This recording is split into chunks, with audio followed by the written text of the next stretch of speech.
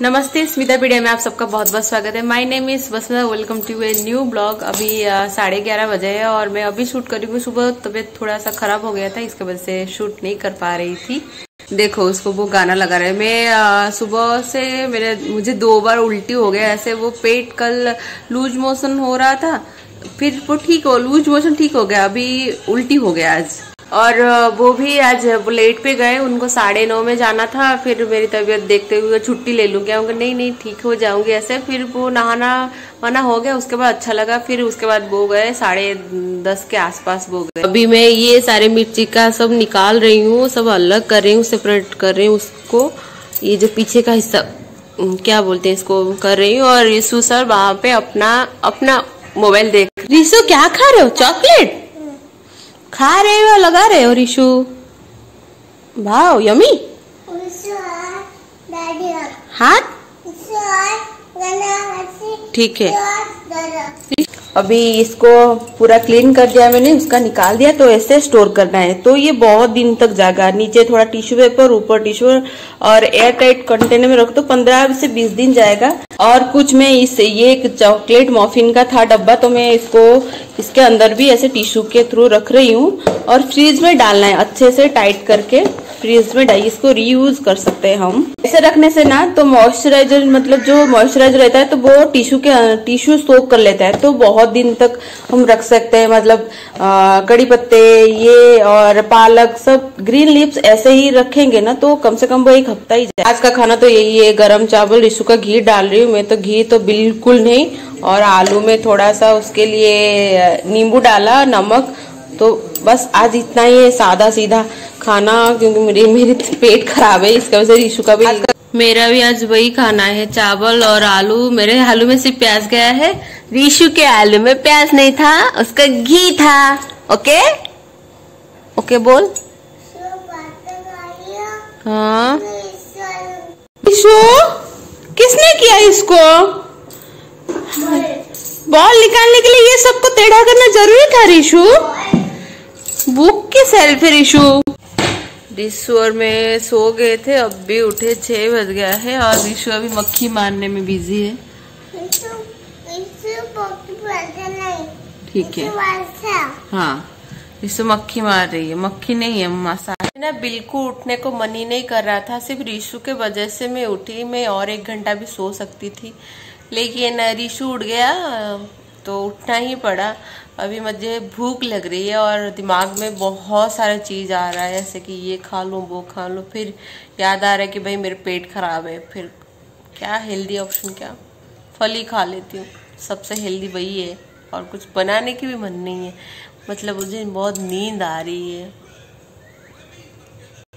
अब स्नैक्स में ये एक पेरू और ये एप्पल को मैं काट के लाई और सर चम्मच से खा रहे कांटे के चम्मच से रिशु तो कंटिनेंटल हो गया है। रिशु का ये है रिशु का फेवरेट सर मखाना और क्या है? डेट्स एटा और ये वालनट रिशु को वालनट बहुत पसंद है। पसंद है रिशु? पसंद है? क्या पसंद है?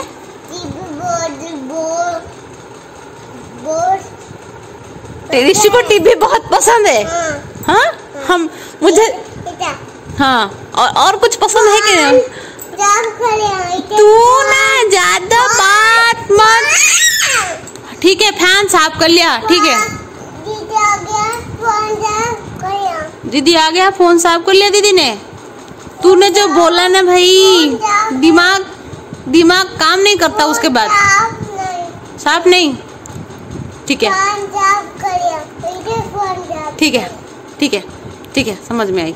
रीशु हमें कभी कभी ऐसा बात कर देता है ना, ऐसे कुछ बात बोल देता है, जो बहुत ही फनी लगता है और बहुत ही ऐसे कि इसने बोल दिया इतू सा। लेकिन दिमाग खराब करने वाली बात बोलता है कलर्स देखो। अरे, दरवाज़ा तो खोल।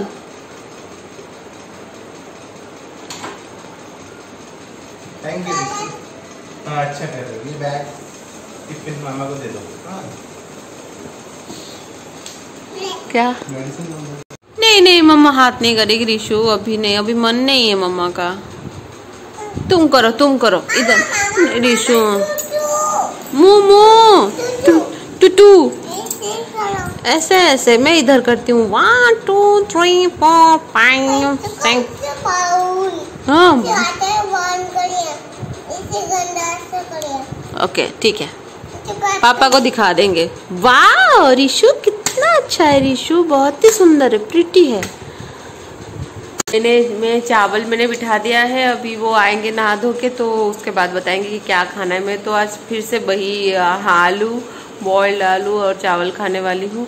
हाँ क्यों, मेरा लूज मोशन ठीक हो गया अभी मुझे लग रहा है कि मुझे गैस्ट्रिक की जो प्रॉब्लम था मेरा, फिर से, अभी से लग रहा है थोड़ा सा पेट कुछ तो हो रहा है ऐसे। तो मैंने अभी सब्जा सिर्स और भूसी और ग्लूकोज मिला के पानी पिया कि वो पेट ठंडा करता है ना तो पिया। तो उसको तो दो तीन बार अभी पीना है, जब तक पेट ठीक ना हो जाए।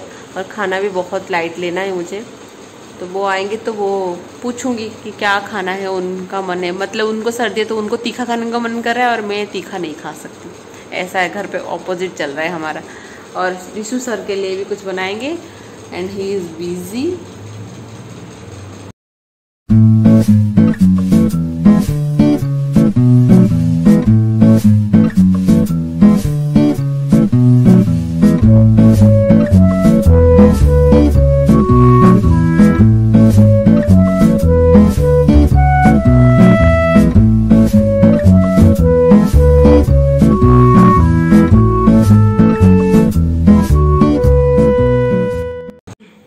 बिज़ी कुछ खत्म हो गया क्लीनिंग व्लिनिंग सब हो गया और वो दोनों गए हैं अंदर। इशू पागल हो रहा था। मतलब वो खुद खाना खाता है, फिर चलो एसी रूम पे। और मेरा भी आज तो सादा सीधा दिन भर लंच भी वही था डिनर भी वही था। पेट गर्म हो गया गैस्ट्रिक की वजह से। तो अभी मैं ये सब्जा से इसकी पानी पीती हूँ। एक गलत वर्ड्स बोलती हूँ, ना तो पूरी ख़राब हो जाती है मेरी क्लिप तो मुझे बार बार रिकॉर्ड करना पड़ता है कि मेरी हिंदी अभी तो बहुत सुधर गई है, बहुत ज़्यादा। तो मैं क्या बोल रही थी कि सब्जा सीड्स की पानी अभी पीऊँगी। पेट गर्म होता है तो सब्जा सीड्स बहुत ठंडा रहता है ना तो वो पेट ठंडा करने में हेल्प करता है।